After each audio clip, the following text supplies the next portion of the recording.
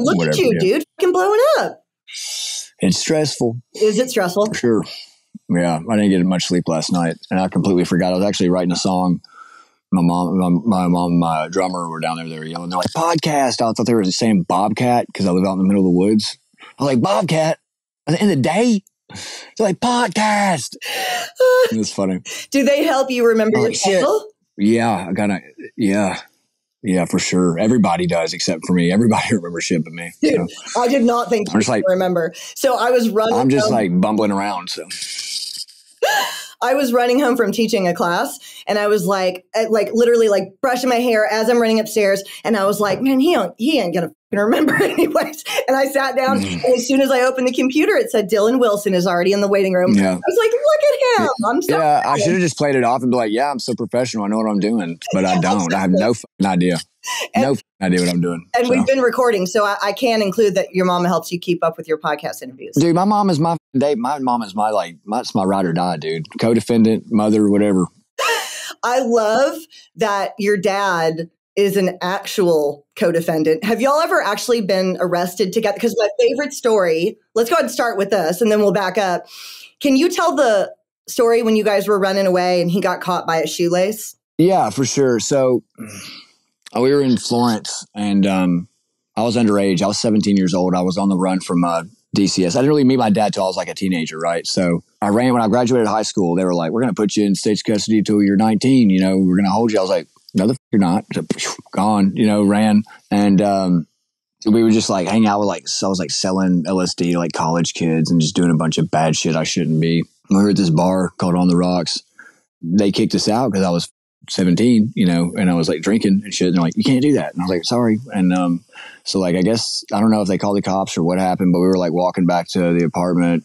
They blue lighted us, went whoop, whoop, you know, like that. So we just took off running through people's yards, just took out, you know, and, um, all of a sudden he's not with me anymore. You know, he's not next to me. I'm like, if it wasn't my dad, I wouldn't have turned around. I'm just going to go ahead and say it. I don't, you know, I don't care. I wouldn't have turned around if it wasn't my dad, but I turn around, I get back, and I was like, he's like caught up on the fence and shit. And I'm like, what are you doing, man? Like, you can't jump over a four foot fence. So like, I get him down, and we get back to the apartment. He's like, dude, my my shoelaces got stuck. My shoelaces got stuck on the thing. I was like, oh, I guess that makes sense. And then we get back, I look down, he's wearing boat shoes. He don't even have shoelaces. I'm like, what do you, what happened? Like, what's going on with you? Know? I love that story. I heard you tell that story on Back Alley Chat, and I Yeah, love yeah. that story. So, but Yeah, let's back up a little. So, you didn't meet him till you were a teenager. Let's talk about where you're from, growing up. I know your mom raised you. Just walk me through your childhood a little bit. my biological dad, the one that, that was the story was, you know, I just told, uh, he was, uh, he was in the army. I was born in an army base in Maryland, but he's from Alabama. My mom was from Tennessee. They got a divorce and he went to prison. He spent like probably, I think like 13 non-consecutive years in total in prison. So my stepdad, you know, for early part of my childhood was, you know, the main father figure in my life, but he was pretty bad on drugs. My mom was pretty bad on drugs. And then I got put in state's custody and then I lived with my grandparents, and so I was like kind of like half raised by my grandparents, half raised by my mom. Yeah. So and that's and then I met my dad when I was like I think like six, 15 or sixteen, something like that. So, Okay. Did you know he was in prison? What did they tell you about where he was? Did Yeah, I'd, I'd I'd gotten like letters and stuff like that, and he was like a severe alcoholic and and uh, like a mean drunk. And I mean, I don't know, it's like kind of like the cat calling the kettle black or whatever, because you know everybody was using at that time. The only people that weren't were my grandparents. So it's like, oh, he's an alcoholic. It's like you smoke meth, so I don't know what to do. It's like he goes to sleep. We're like, we don't. So so were you going to school and stuff? Did you actually go to school? What were you like in school? awful. Um, no, I made I made good grades, but I got in a lot of trouble. I got in a lot of trouble, and, and I don't think that I even really went to mo- uh, third grade. Really, I think that I was just like when I got put in state's custody, they were like just put me in fourth grade, and they're like, I don't think you can do that. And I'm not going to go at all, then you know. So, but they put me in fourth grade, and uh, yeah, but I don't know. I had a love hate relationship with school Yeah, yeah, for sure, especially high school. High school was rough. yeah. In what sense?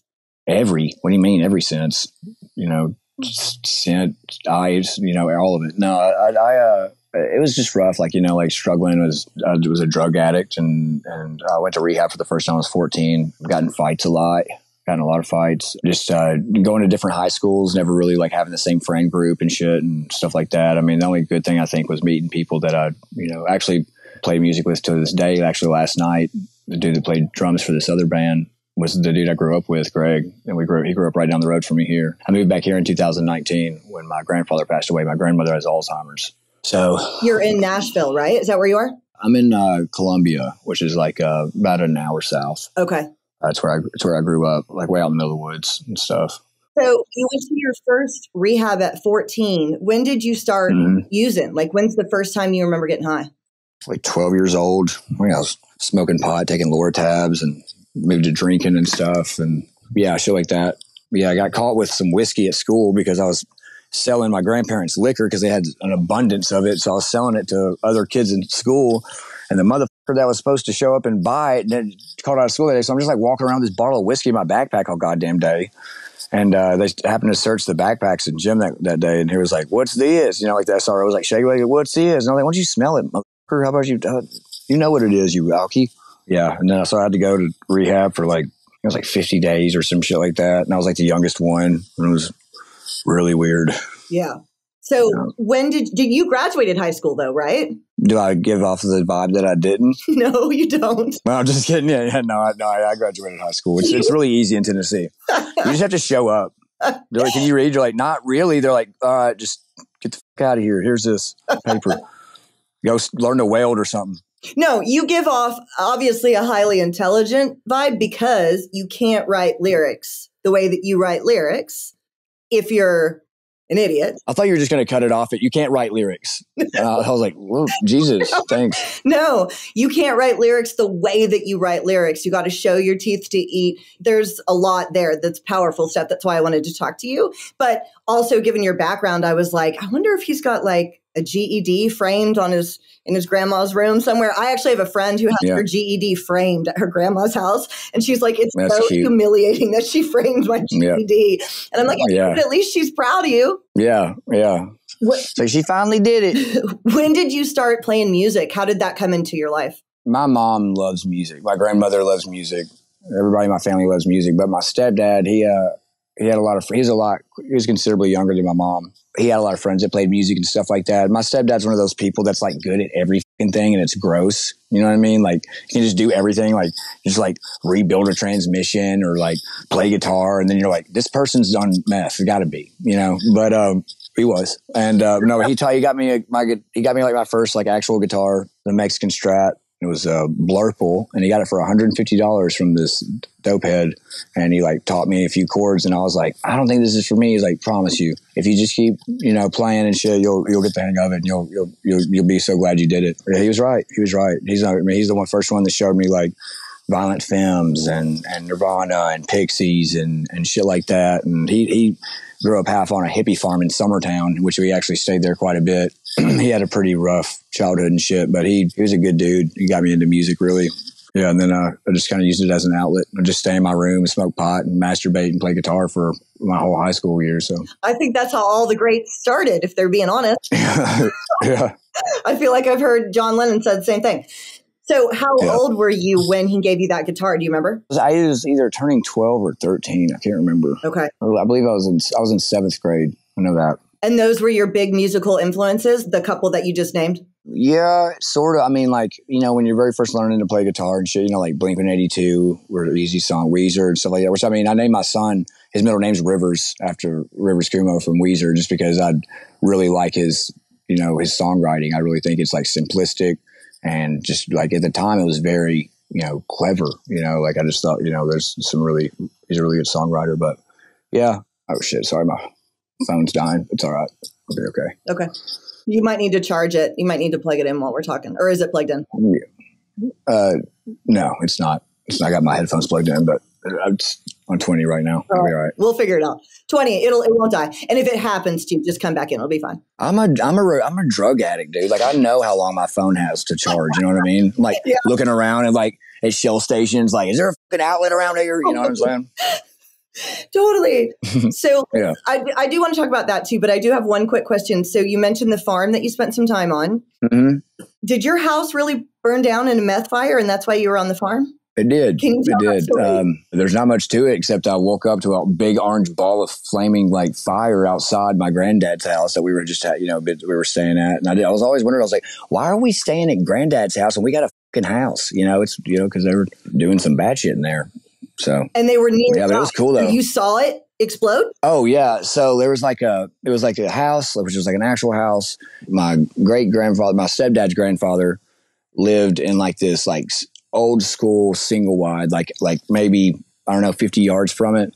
And I remember I woke up and just seeing like this. It was I knew it was nighttime and it just freaked me out because it was like I lived out in the middle of nowhere and just like this orange like coming from the blinds. I was like, what the fuck is that? And I just like remember standing outside in the yard and looking at it. You could just feel like the heat, the intense heat. And it was insane, but it was like it was crazy. It was beautiful, but it was also like, oh my shit's gone. You know? Did you know what caused that fire at the time, or did you? Not at not at the not at the time not at the time no. And you know it's weird that it never even really bothered me. Like I think that like when at the time it still doesn't. I don't know for some reason and it's not like a dissociation it's not like a and, and able to unable to feel shit or anything. It's just that like I'm just like when bad shit happens I'm like of course of course. You know what I mean? Of course that's what's what's going to happen. You know I think that I don't know maybe maybe he's born with it maybe it's trauma. I don't know I've never heard that. That's hilarious.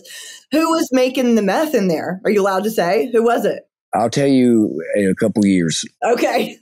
No, I'm just kidding. I don't know. I, I do know, but I don't really. You don't have to I'm not- say. Okay. Shouldn't. Yeah, I shouldn't. Okay. And then you went and spent some time on a farm sometimes when that had happened. How old were you when it happened? I was in um, second grade, I believe. Yeah, second grade. Okay. So little. So Okay. yeah, Okay. 2002. So you start playing guitar at 12. When do you start smoking meth and getting into like harder stuff? Were you still in high school? So I started doing like acid and hallucinogens and shit like that around the same time I started smoking pot and shit. And then when I was 14, I started doing meth. And I did that kind of like off and on, not really consistently. And like back then, it was a lot stronger. You know what I mean? So like it's not the same. But then like I did like a little bit of like heroin and opanas and stuff like that. But I've just never been one for naps. So I always like, you know, I was always like, hey, I wonder how long I can stay up. You know, the other dude in the room's like, probably a long time. I'm like, who are you? You know? Yeah, because you never got strung out on heroin, right? I've heard you say that you tried it, but you never became like a junkie. Not really, not really. I, I don't know. Like I've, I kind of got like a little bit stuck on uh like Suboxone there for a little bit, just because like it was easy to hide. You know what I'm saying? It's easier to like not, you know, like when you're twack out like twacky Jan, like it's hard to hide. But if you're just like a, they're sleeping all the time, he's like, man, he must be working so hard. You know? Also, back then, I don't know when you were doing it. When I was on Suboxone, they weren't even testing for it yet.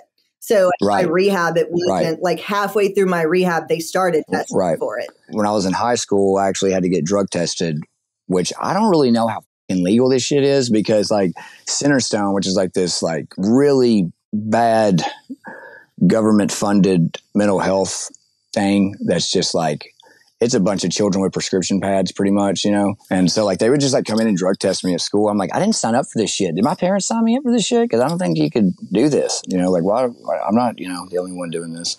Why were you So- on their so- radar? Had you got 5150?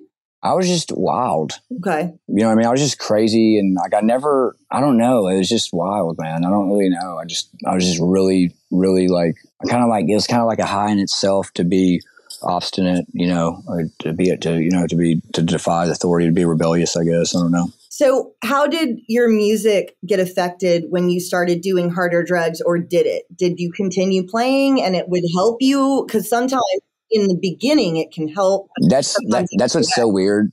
That's what's so weird is the only time I've never not played music is when I'm legally confined behind walls. Then there's no instruments, like in jail or like rehab or whatever. So I've, I've always played music. That's always been like my one discipline, and I think that's been like the the only thing kind of like keeping me tethered to the earth. When did you start songwriting and thinking, I can do this too? Like, I enjoy playing this, I enjoy other people's songs, but I'm good too. I started writing songs before I could even like have conversations with people. You know what I'm saying? Like I always wrote songs. Like it was, I mean, my, my dad told me I was, you know, as a kid, like just making up shit, you know, singing it, terrorizing the neighborhood, just singing crazy shit. So when did you get into your band? Uh, me and my my brother, he's not my blood brother, but uh, Jacob, uh, we both skated and we both started playing guitar around the same time. Actually, he was just here not that long ago. We've known each other our whole lives. And we kind of like had like his his mom's boyfriend at the time had like a drum set and like I knew some power chords and shit. So we would just get he would just let us be really loud. He played like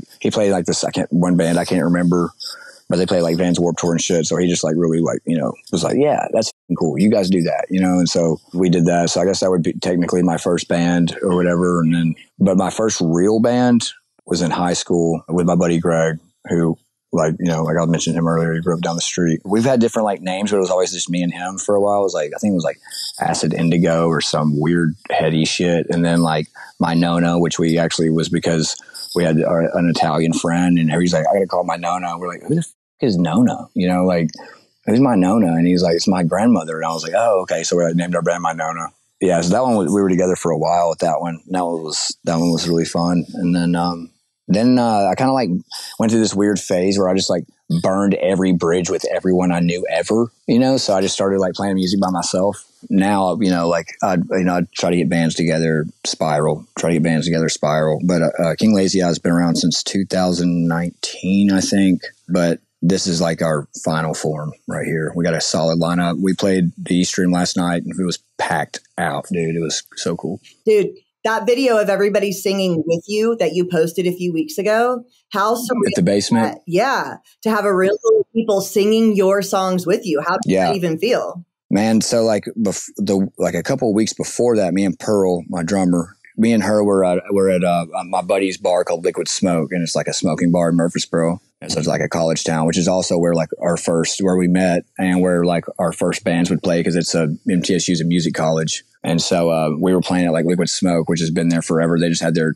21st anniversary, and I'm really close with the owners and stuff. But like, it was just me and her. She was on a cajon, it was me, acoustic guitar, and that was the first time that happened. And like half the crowd sang our whole set word for word, and I was like, "What the hell? This is insane!" You know, like the first time it's ever happened. And then when we played the basement, it happened again, and it was just like amazing. Like this girl came in. I'm actually Bree. She's a, become pretty good friends with her. She came in. Her and her and her uh, old man came in, and she had "Pretty Okay" tattooed on her neck, which is like wait, that song we haven't even released yet. Oh you know what I mean? Like, gosh. Yeah, yeah, which is cool because uh, that's my one of my favorite. We open up with it. It's like one of my favorite songs to play, and uh, it's it's pretty cool because like to her it has a different meaning than it does to me because like she actually has uh, cervical cancer and so like it's just like it's cool because it's you get to see your art and your things like mean so much to someone and it's not just about your little stupid pity party failure of a love life you know what i mean to them it's some means something completely different you know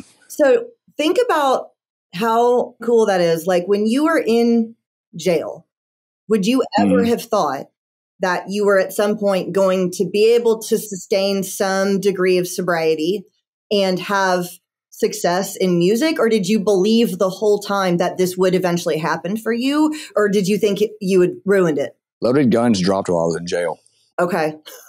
Yeah. i didn't know that. Know, which is pretty How did you know that? Someone told you? It's pretty on brand. No i mean it was scheduled to drop you know and i was just like and uh, they were like, "Hey, remember loaded guns? I was loaded, uh, loaded guns is dropping today." I'm like, "Cool. Any word on a bond? You know, like, uh, uh, Greg, sweet. Maybe give it, maybe give it, tell the magistrate to give it a fucking listen. I don't know, like, you know, but it, it dropped, and um, yeah, I got out, and it was cool. I got it when I got out of jail this last time. I did like a pretty good little run in county, like five or six months, and split between Giles and Maury County. I had a hold, and um, I got out and uh, I had like some money saved up, and I was like, damn, I was like making money when I was just taking naps and eating bad food. I didn't really think that uh, I was going to be able to. I'm just uh, like I'm friends with like a lot of people in this area that are so talented. You know, like I mean, everybody's talented. I mean, everybody's so talented at what they do here, and so I, did, I just didn't really think it would stand out or anything like that. I mean, I'm glad it has, and I'm not bitching or anything like that. But I'm just, uh, I'm, I am pretty surprised that it worked out. Yeah, so, when was the first time you got arrested? I actually kind of know this story, but I just want to hear you tell it again. When was the first time you got arrested? How old were you? What happened? Oh, man.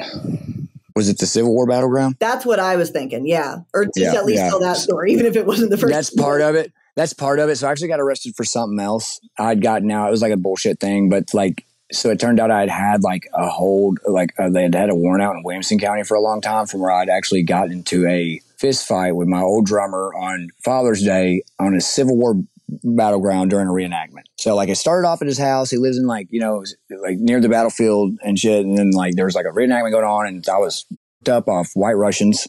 Like who drinks white Russians on Father's Day? Like, know. you know what I mean? Like that's how like look at, uh, I was obviously not in a good place. and, uh, and, uh, ended up like looking up and there's like, everyone's like, is this part of the reenactment? You know, like what's going on? And, uh, I was like, shit. So I dipped out. I went and grabbed my guitar out of his house and um, I was using. I did that that day. I did not bring my amp. Thank God. You know, I was using one of his amps, so all I brought was my guitar. And so, like, I'm just like trying to find a place to hide till my grandmother with Alzheimer's and my sister can figure out where the fuck it is I'm hiding in this like really wealthy neighborhood. You know, so I do not fit in. You know, at all. I'm carrying a bright yellow guitar, and uh, the police call me, and they're like, "Hey, man." You need to come turn yourself in. You have a warrant. I was like, "All right, what are you talking about?" They're like, I was like, I'm in Maury County. And they're like, no, you're not. I was like, prove it, man. I was like, I'm not, I'm not there. And the whole time I'm like sitting like on this porch of this house that isn't mine, praying to God these people are not home. Sitting behind like, you know, those like really skinny cedar trees that rich people have. They're just like, why would you? That's weird. It looks like something from fucking Whoville. Like, what are you doing? And it's like, I'm just like kind of sitting behind it like that with my yellow guitar. And I'm like watching them while I'm on the phone with them. All they had to do is this that's all they would have had to do, and they would have seen me, and they didn't. So I don't know. I, I just think that's kind of funny, or it's God. I don't know. God has a sense of humor. And then my grandmother pulls up, and I just like dive in the back. She's like, "What's going on?" I was like, "Just get me out of here now. I'll tell you when we get home." And then a couple months later, it ended up I had a had a warrant out about it. So. So when you reenacted were you like a Civil War reenactor? Was this a thing that you did? No, I was at band practice. I was at band. I was at band practice. This dude lived jutted up to the to the the battlefield, like I like, like about okay twenty or thirty yards, twenty or thirty yards from it. We were at band practice, and we got into an altercation because he kept touching my collarbone, and I don't like that shit. You know what I mean? So he kept touching my collarbone. I was like, dude, if you if you touch me in the collarbone again, I'm going to climb you like a light pole. and I'm going to disconnect the fucking lights. And he didn't believe me, and uh, it's really funny because like you know, like those old wooden like fences you see like in the South and shit, like, you know, that like go around shit like that. Well, I remember I'd hit this dude so hard. I had him, I was grabbing him by his shirt. I hit him so hard his shirt came off of him. And when I had to pay my restitution, it was just said Jimi Hendrix t shirt.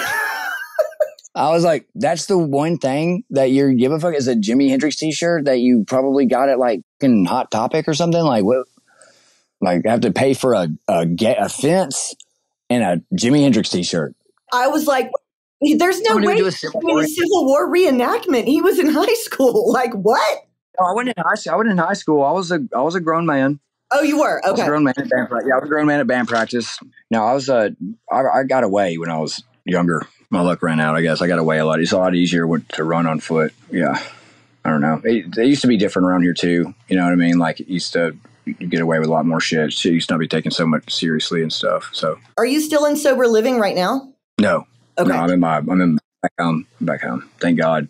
I was going to end up offing myself in the main common room if I had to stay there another month. I cannot, I cannot deal with men who don't do not wash dishes. To be honest, I'm not washing your goddamn. I'm not your goddamn mommy. I'm not your goddamn daddy. I'm not to wash your dishes, and I'm not to, you know, uh, like I don't know. Like I don't like people telling me like, you got to be home at this time. I was like, dude, I'm trying to play music for a living. Like, you're to have to like cut me some slack. Like, I'm not to do anything else. I can't. I can't do anything else. I tried to apply for a job at a gas station. Oh, your felonies indicate like, yeah, well, you, I put a metal roof on this speedway, so you can't tell me I can't sell the Marlboros inside of it. What kind of shit is that? The reason I ask is because I don't know if you remember over the summer when we were talking, one of the things that I think is really cool about your story is that you did a lot when you were in sober living. And like most of my audience uh, like is in recovery, some of them are still in sober living, some of them are still in active addiction. And when I was in sober living, I felt like such a fucking loser, you know, an adult in sober living. I did not believe that I could do anything, but you actually started putting yourself out there and you had some degree of success while you were in sober living. What was that dichotomy like to be successful, but then have to go home to a sober living? Okay, so I'm going to be honest. I did not follow the rules all the time. So I did do a little do do a little sober living tour of every single sober living in Nashville. So yeah, I got kicked out of a few. I got kicked out of a few sober livings in different ways and shit. So yeah, know, they were all fun though. I met cool people at every single one of them. I still have friends that I still talk to every day that I've met at every single one of them and seen some really funny shit. Met some really funny people, some really smart people. Yeah, it was cool. I mean, I, I don't regret it. I mean, I mean, I had to pay for my shit somehow. I mean, I was just lucky that I didn't get go to prison. That I just had to do like half a year and then go to rehab and then sober living for six months. I was like grateful for that. But then like, oh, like I can't just and I'm not saying that there's something wrong with people who do just go to work and shit like that, but I'm just like, I got to constantly be creating. And like, and especially if I'm at a spot where I can create and sustain my life doing that, why the fuck wouldn't I? Right. Why wouldn't I do that? What, you know, like, why would I just throw that away to make other people more comfortable or, or because it's what is expected of me? Like, I don't know if anybody knows this, but I'm not a huge advocate for doing what I'm told.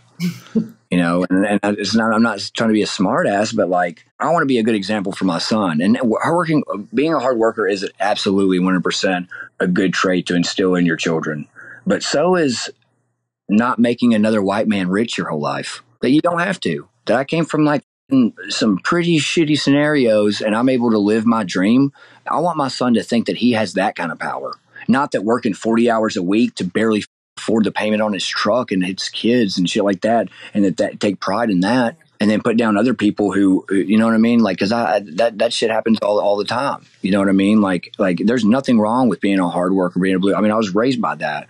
I know that I've had, I've had, I've dug, I've dug, gra- I've been, I've worked at cemeteries. I've done granite. I've done roofing. I've done factory jobs. I spend more time on a forklift than I have with a fork in my hand. So like, I get, I get working hard for no reason, like working six six days a week, twelve hour shifts at GM, and them not giving a, f- you know, like I get that, I know what that's like, but that doesn't mean that I have to do that if I don't, if I have the ability to not. Well, and you weren't wrong though, right? Like you are actually making money doing what you're doing, and also through content creation, because I know a huge part of your success and some of what has helped you get bigger in music, I think, is is TikTok, right? Isn't that's where like a lot of it came from? When did you start doing? Yeah. Man, I don't know. I was hot.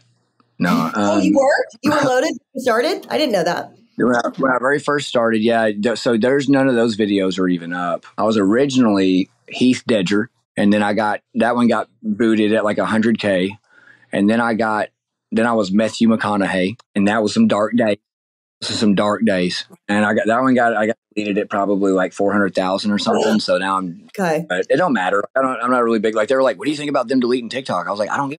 I really don't care." Like I'm, I mean, it does. I mean, the only reason I started doing it was like my sister was like, "You should put your music and tell jokes and do this and stuff like that on TikTok." And I was like, "Josie, I would, but like I like women, you know." So, but uh, I'm just messing around. But uh, no, but I did, and it and it, and it, it took off. So, and I got you know I thank her for that and stuff. Because like the way the algorithm works, it just it's going to put you in front. you could just go on there and say straight for 10 minutes and it's going to put that video in front of some old grandma who just got done with her shift at the nursing home you know what i'm saying like it's like a cna somehow but instagram and facebook is so incestuous that like you gotta like already have a following or whatever or what have you and, and shit like that and like it just i don't know it's just different. Like it's different now, but it, it, didn't used to be. You know what I mean? Like it was you already like Instagram, like the rich and famous. You know, that were like people that were celebrities that were like created or got famous through you know other means or whatever. You know, social media wasn't really a catalyst back then. Right. No, TikTok definitely changed the game. You know, it allowed other people to actually get out there, you know, and someone like yeah. you yeah. absolutely was able to get your music out there. Cause like Loaded Guns, most people, would you say most people found you and that song from TikTok, or did most people find you through other avenues and then get to your TikTok? Like, what was the order? I have no idea. Um, I don't know. I, I don't know. It's uh, was doing so much random stuff that uh, yeah, I don't know. I'm not really sure how that happened. It just uh, it kind of just it kind of all culminated and stuff, and I don't know, kind of things just started kind of like happening really weirdly in, in a weird order. It was cool, especially when I got out of the halfway house. Things started moving really fast. So when I was in the halfway house, this last one, my manager. My old manager Meg, she's about to give birth. She's like one of my best friends. Her son's the one that recorded, or not her son, her her husband's the one that recorded and produced 25 and um, she was like, "Hey, John Prine reached out to you I wanted to talk to you." I was like, "Megan, John Prine's dead. Like, what are you talking about? You know, and it was turned out to be this dude who, unfortunately, his name was John Prine, like for real, like J O N Prine. And so he's like, he wants to talk to you, and I was like, okay, let's do it. Like, like I'm like he thinks I'm stupid or something. I talk to him, and he turns out he works for like Wasserman, which was like this really cool like talent group that you know has like some bigger names and shit like that. And um, it kind of really like helped. Also, somehow one time when I got kicked out of a a halfway house. I was I'd staying with my buddy Darren and Madison. Darren Bradbury, he's a songwriter, and he also is he owns a, a nonprofit called The Beat. So I was like helping homeless people work, which because there's no other scenario better for a recovering addict than helping homeless drug addicts and going into tents while they're literally smoking fentanyl. There's nothing better than that, you know. So uh, I was staying with him, and somehow I drunkenly ended up at Margo Price's 40th birthday. And I was like, ah, I have imposter syndrome, like a motherfucker, you know? So, um, and then like, I don't know, some other weird shit happened and like that. And just, it's, kind of cool. Things started kind of like clicking together, you know what I mean? And, and also I've noticed like the more I just started like taking accountability for like my shitty, shitty things that I've done and stuff and not trying to like sugarcoat it and being like, no, I was a real deal piece of shit. Like I did this and that. And like, I'd feel, you know, of course I feel awful, but like, you know, the only, the first place to start to even um, make up for it is to say that you did it. Yeah. You know? Yeah.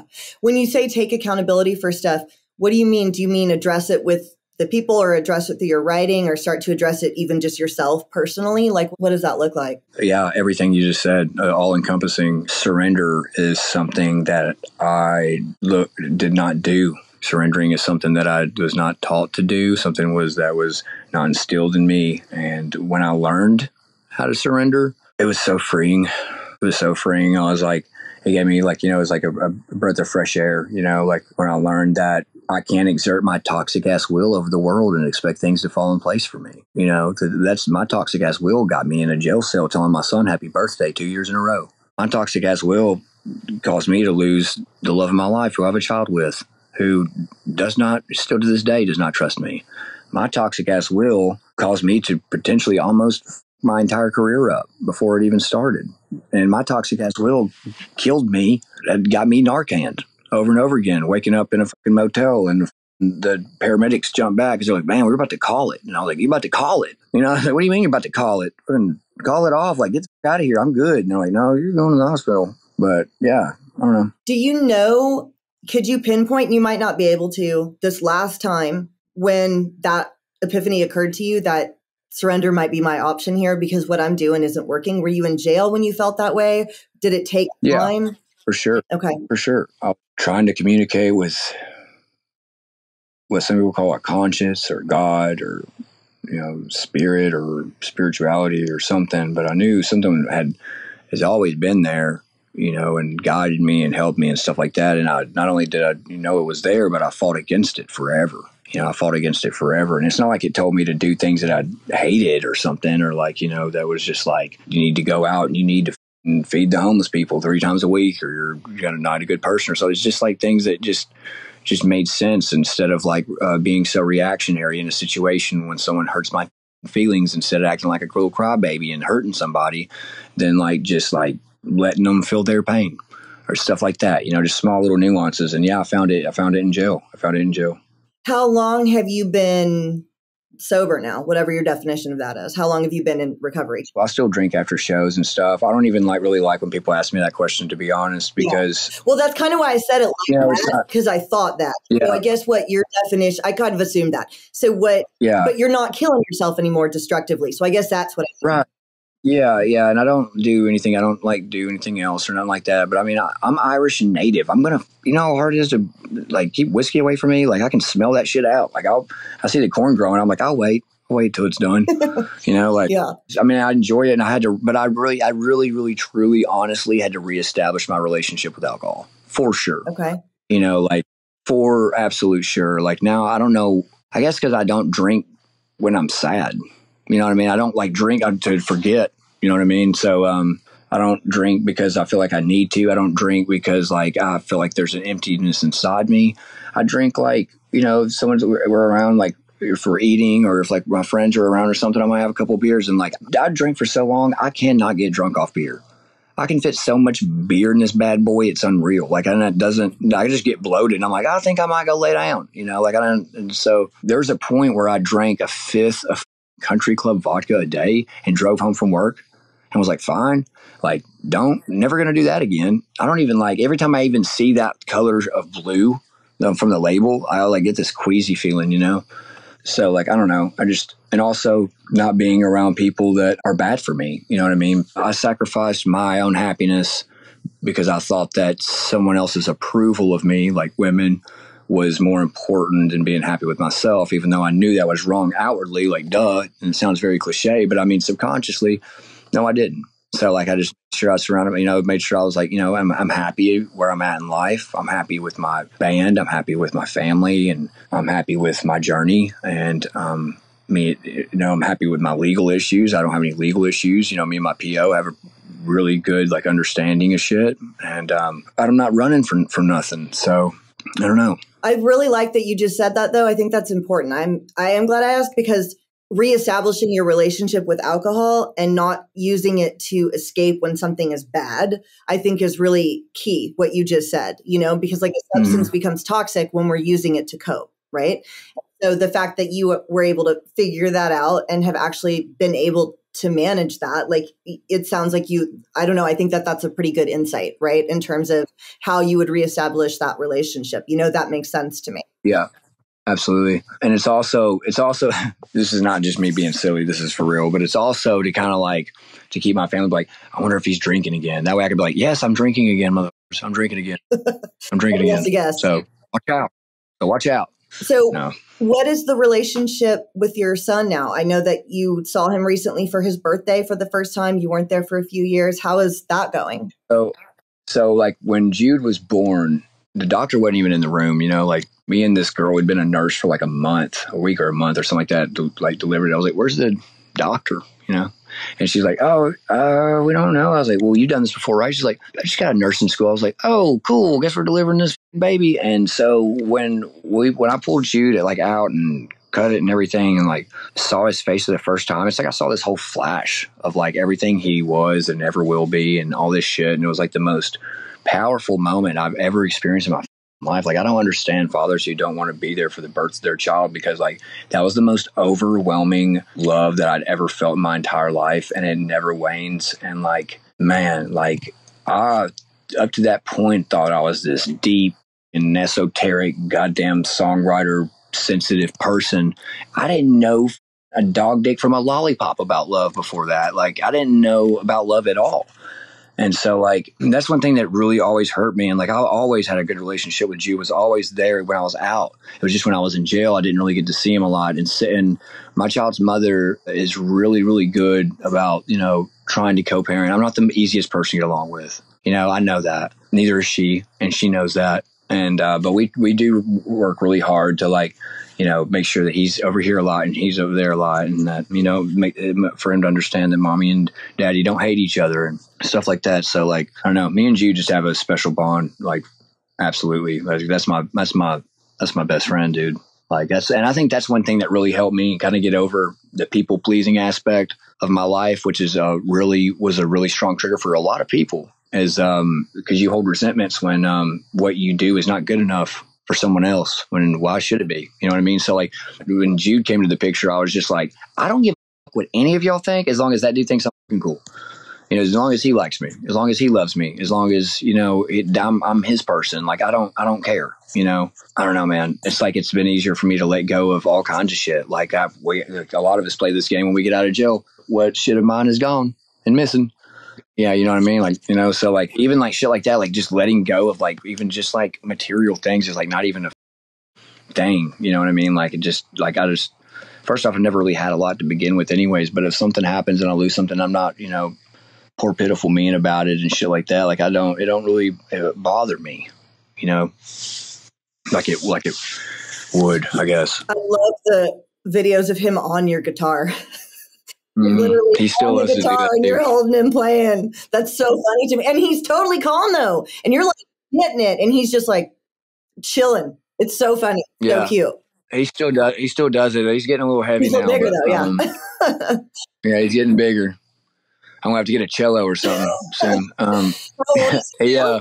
So like I think the reason why he loves music so much and he loves music. Like I'm not forcing it upon him because I'm a musician. It's something that I don't know if it's genetic or if it's because like when his mother was pregnant, it was it was COVID, it's quarantine. He was a quarantine baby. So like we didn't go to work. We didn't leave the house for like months. You know what I'm saying? So like the the integral parts of his development in the womb, Sarah would want me to you know, play music for and stuff like that. And it, it helped him, it helped him calm him down. And it got to the point where like, if I like tried to like skimp out on not playing music that night, he would just like start kicking the shit out of her and stuff until I played. And so like, now he just, I mean, he loves it. Like he just, he likes to, I'm not like one of those dudes like, don't touch that guitar. That guitar's expensive. Like, I don't, piece of wood with metal on it. You know what I mean? Like, let the kid play with it. Any kid, I don't care. Like, it doesn't. The shit like that doesn't bother me. Like, let them be experimental with it. Let them hit it hard. Let them make it weird. Make weird sounds. I was the weird kid in the woods with a piece of PVC PVC pipe hitting it against a tree. You know what I mean? Like, so yeah, I, I think that's very very important. But he he loves it and he likes to sing. He likes to sing a lot and I actually have a lot of videos on my phone where in the practice space down the barn, me and my band were kind of like, he had his, we had to get a little noise canceling headphones and we were just like playing, you know, and I gave him the microphone and he was just like screaming and it was like sounding really good. And I was like, should we have like a toddler, like hardcore band? Like, you know what I mean? Dude, babies with those noise canceling headphones is the cutest thing on earth. When you see little kids with those yeah. headphones on, it's just like the cutest thing yeah. ever. Yeah. So, what does King Lazy Eye mean? I started to listen to a podcast where someone asked you, and then I was like, oh, I turned it off because I didn't want to know. What does that mean?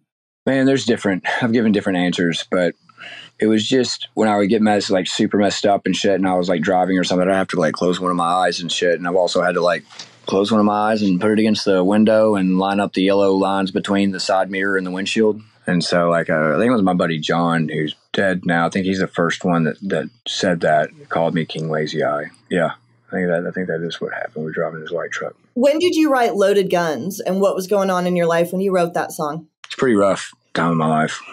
Actually, I just gotten out of. I was just getting like my legal shit squashed just to like catch some more charges and stuff. I think I called it like a burglary charge, and I kind of like wrote it as kind of like a facetious apology to my lawyer James, who's he's not my lawyer anymore. He, he does other types of lawyer stuff now, but I, I'd known him forever, like before, you know, like he was ever a lawyer and shit like that. And um, so it's kind of like a facetious like apology to him and stuff because he's always, you know, supported my music and shit. And he comes to my shows and shit. And I'm like, tell everybody, like, that's Mr. McVeigh. And everybody runs up to him. It's kind of funny, but yeah.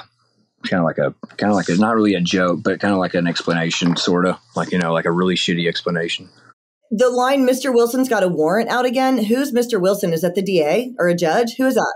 That's me. My last name's Wilson. Oh my God. Duh. I know that. Dylan Wilson. Mr. I thought you think my name was Mr. I, Mr. Lazy Eye? But I thought it was like Mr. Wilson's got a warrant out like against you somehow. And I was like, is that someone's dad? Who is that? No. It does sound like someone's dad for sure. It does. I am someone's. I am someone's dad. That's I mean, true. That's true. I guess someone does. Okay, I have a few more questions because I know you got to go. I want to ask you a couple of different stories from a TikTok that you recently did. Oh, God. Yeah. Okay. So you were going through your stuff and you found some things. Okay. So one of them is a newspaper article about your dad escaping from jail. Yeah. You tell that story? Yep. All right. So according to him, which I mean, I have the newspaper article. I read it to you. It's really long though. He got pulled over with this dude and um, I thought he was in Colbert County, but the paper says Lauderdale County, which they're next to each other. It doesn't really matter. But he uh, he got pulled over and like ate like he had this dope on him, and he, I think he ate like an entire like gram of dope, like good dope, and um, but he didn't know that there was like 10 grams underneath his seat. And the dude wouldn't take the charge for it, which is weird because since he was driving, he should have got charged with it anyways. It doesn't really matter. But so he was in the holding cell because he got charged with it. And he's like, the dope kicks in.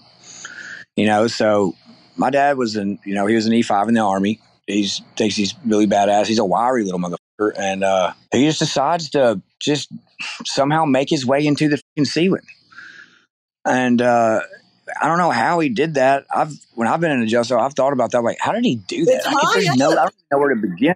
No, no, it's like a little holding cell. But I mean, even then, I was like, wait, y'all got like a drop ceiling in y'all's like holding cell? Like, I, I didn't understand how he got up in it. Like he had to drill. Like it said that he like carved his way into it. Like with what? You didn't have your shoes. You know what I mean? Like what? You know. So he got it into the ceiling somehow, and they were like, they came in there, they're like, "Where's he at?" And the the dude that was in the cell was like, "I don't know. I don't, I don't even know where, where he where he went. I was a, I was asleep." You know. They looked up and realized, hey, there's a hole in the wall where this you know messed out maniac crawled into the ceiling and was like crawling and shit. And they were like trying to get him down and stuff. And then he just like falls through the ceiling in the lobby, like just like, and then like just gets bum rushed by the whole sheriff's department. They just beat the shit out of him. And um, yeah, but not like a newspaper article is so funny to me. I didn't even know that had happened. One day I just like got home from school and like I just had a letter and I opened it up and there was that newspaper clipping in there. I was like, that's why I hadn't heard from him in a while. that's fucking amazing. He's yeah. out now, right? He's out. Who knows? I don't know. I don't know where where he is. Uh, to be honest, okay. I don't know. Where. I, I saw you were with him recently, or uh, maybe I don't know how long ago this was. In his car, you made the video about how every single yeah. figure was blown, and he'd only have the. He'd only yeah. Oh my god! A few months. Yeah. And you were like, "What?" oh my god! Yeah.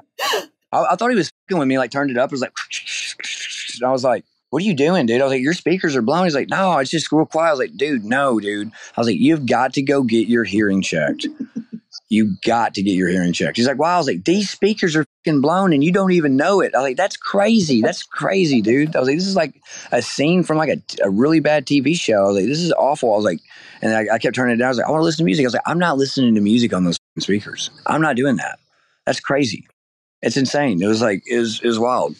But uh, yeah. One of the other things you found was a balloon from meeting a musician that you like that you had done nitrous with. Are you allowed to tell that story? You don't have to. Mm-hmm. Just don't say who it is. I mean, there's not really much to it besides, you know, being a goddamn birthday dentist in someone's living room that you really respect and you're just like blowing up balloons with a. First off, it was weird because the tank got delivered to his house. Who's driving around with tanks of nitrous? It's just like, hey, you, what you got? I got heroin, meth, tanks of nitrous. Like, you know what yeah. I mean? Like, not, not nitrous you can just like go buy, like the oxygen shit. It's like actual tanks of like nitrous. You know what I'm saying? And like we're just like taking them to the dome, and I just kept that one because I just wanted to remember that night. I've never done uh, nitrous. What does it feel like? I've done heroin, meth, all the things, but I've never done nitrous. What even is that? It feels like it feels like it don't last long enough. Right. That's what it feels like. Right. But I don't know. I mean, I don't know. It was just, I don't know. I, I'd done so many, so much shit by then. It was just more for the experience. You know what I'm saying? Like, I don't know. It's kind of like standing up really, really, really fast. Yeah. I guess. Yeah. I don't know. I mean, it's kind of a cool feeling, but I mean, also, I don't know. It's actual brain cells dying, though. You know what I mean? And like that to me, you know, even though we know that about all of them, I think that's why you feel weird. At my life, I was not worried about that right. at all. Like, I, right? Yeah, I was, yeah. I could, I could lose. I could lose a few more, honestly. and then I don't think you're going to have any details about this because you don't remember. But I just think it's hilarious that old lady's ID in your pocket. What was? Yeah, the car. Yeah. Turns out, actually, it's funny you asked that question because I found out today. Uh, I was talking to them. They're like, "Oh yeah, no, dude, we were using that to scrape up uh, drugs and shit, and I just like put it in your pocket when you're asleep." And I was like, "Why would you do that?" And they're like, "Just wanted to freak you out. Just wanted to see what would be, just wanted to see you do, see if you would tell me if you found it or not." And I was like, "What kind of weird psycho shit is that? Like, what does that? What does that prove? That I'm scared that I found a ninety, that 102 year old woman's ID in my pocket from California. Was it like their mom or something, or their grandma or something? No, why did they have it? I don't know. I mean, would they ask when I asked them that? They're like, oh, "Yeah, they knew. They know." I was like, "Yeah, but if you knew them, you knew this old lady. Why? That doesn't explain why you have their ID." Right? No, that does not explain it whatever. I'm like, okay, yeah, whatever. Or just shrug it off that you stole it. I mean, was she dead or something? You're just like, yeah, I could use it for. Right, right, right. Okay, so the last little bit here. Where can everybody find your music and you and what is on the horizon for you right now with the band and shows? Like what does the next couple of months look like for you with all that stuff? Okay, so you can listen to my music like Spotify, Apple Music, YouTube, you know, every streaming platform. So I'm flying out to Texas tomorrow to go do this uh, promotional stuff for uh, Memphis. Uh, I mean, not Memphis, but uh, Dallas's uh, tattoo festival on Elm Street. So this is it's pretty exciting because like tomorrow when I fly out, it'll be the first time I've actually been able to leave the state in four years. So pretty stoked about that. It doesn't mean I haven't left the state. It just means it's the first time that I'm like, please don't get pulled over. You know? Yeah, I like woke up in Indiana a few times. I'm like, God damn it! But um, wait, Indiana, that's far from Tennessee. Oh, I know. Very aware you have any idea what happened? Why did that even happen? I, I was hanging out with this my buddy. He's a bull. He's an ex professional bull rider, and he's just wild man. Always getting some shit when I hang out with him. So just shit always happens. But yeah, he lives up there, and I'm like, why do I keep ending up at your house? Why, if you're just gonna come to Nashville, just stay in Indiana. Like, god damn. Oh my god, I'm tired of this. But so besides that, we're going to do some runs in Texas. And then we got we're open for Papadosio in Asheville and uh, a lot of stuff. I mean, you can find links in my bio of my Instagrams and stuff like that. We'll have my tour schedule and okay. shit like that. Okay. And, uh, but I'm try- we're trying to start recording soon, and I've just been writing a lot. I've been super stressed out, and I've figured out that like the more stressed I am, the more I write, which is kind of a good thing because I mean it just stresses me out more and more when I have all these unfinished songs and all this shit going on. So I mean, at least I know I'll never run out of material and stuff. I, I, saw one of your videos once where you were like, "Here's the trick to being a good songwriter: suffer, just so suffer. so much, and then you'll have so much material." What does your process look like? Do you write at the same time daily, or is it different? Do you have like a, a routine and a process? Kind of, sort of, not really. Uh, I don't know, not really. Sometimes it just it comes to you or or whatever. It's different if I had a process, my songs would probably sound more similar. But you listen to like my songs in a row, you're like, yeah, this dude's definitely bipolar. They definitely sound different. You're right. Like if you go through, you know, Spotify just does like the top listens, the top five. If you mm. listen to them in order, they absolutely sound different. You know what I mean? Mm. Which I kind of pride myself on that, but also it's kind of like I kind of like run into this thing where like some fans like this, but they don't like that, and I'm just like, what in the world made any of you think that I gave a fuck?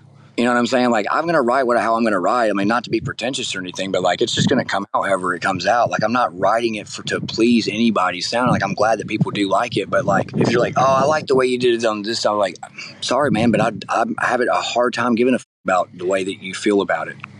You know what I mean? it's a shitty thing to say because like once you release it into the world it's not yours anymore really and they're allowed to have their opinions on that but i'm also allowed to not give a fuck about their opinions so. Yeah. And i lied. I have one last question that i forgot i wanted to ask you.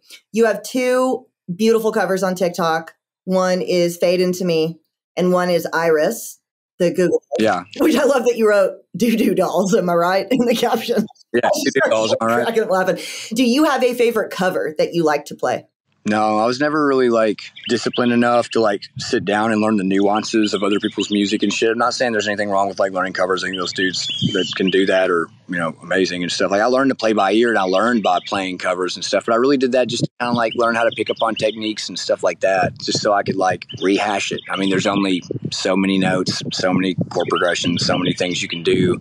It's really just about like techniques and stuff. And some songs are, you know, like cool to do. Like it's usually just like spur of the moment. I'll do it like if I'm like having having like some like small writer's block or or what have you, or if, if, like a lot of the covers I've been doing recently are like songs when I've been listening to songs or songs that Jude likes and stuff, and just kind of like I put a lot of stuff out there just to kind of like kind of like leave for Jude if he like finds it later on or something. Servers don't crash in a dystopian wasteland or some shit, maybe hopefully, but if like you know if he finds it later on or, or something, and if he just so that he knows that I you know, and that I thought about him a lot all the time and couldn't stop. How often do you see him now? Now that I've been so busy, it's been like really sporadic. It, it could be anywhere from like three times a week to him staying with me a week to not seeing him for a, a week. You know what I mean? So it's just, there's no like really like court plan in place, but it's because like I've talked to her about it. It's just like, it's really hard for me to be like, I can get him this time. I can get him, can't get him this time because I'm like, don't know if I'm going to be even home. Yeah. Or, or if I'm going to be, you know, especially with him being so young, because it's not that he's not self sufficient. He's just wild. Is he? He has a four wheeler and he rides all the way down this driveway on crashes and flips over and like doesn't phase him until he does it a few times and he's just like riding around with like muddy tears streaking down his face, just crying. Oh no! Driving. I'm like, buddy, you want to come inside? He's like, you know, and he's just like a tough little son of a bitch, and I love it. But also, he likes to like run off in the woods and stuff. He's not scared of anything, and I, I love that about him. But it's also terrifying, you know. So like you can't you gotta like really keep an eye on him. Plus, I have a pool out here, so like as soon as I lose sight of him, I'm like he's running for the pool. You know, like my paranoia kicks in, and so. Well, I'm glad she works with you on that. Like you said, it's not always easy to co-parent, but I'm glad that y'all have been able to figure that out, and she works with your schedule. She's a really good woman, a really good mama. She did not have it easy growing up, and she's just like so stoic and um, powerful. Really, yeah. I was going to say, I can't thank you enough for your time. I know you don't do a lot of these, and I've wanted to interview you for like literally years. I know you've been like bugging the f- out of me about this, so I'm just, I'm just kidding. That makes me proud though. No, because I actually need to get better about like hounding people, like guests. So I'll ask once, and if they say no, I'm like, I just get so like embarrassed. I never ask again. But like friends of mine that do podcasts that are huge are like, "Can ask again, You ask to, again. You need to like diversify Okay. your. You need to diversify your tactics. Like dig up some blackmail. Just take their take exactly, exactly. hostage.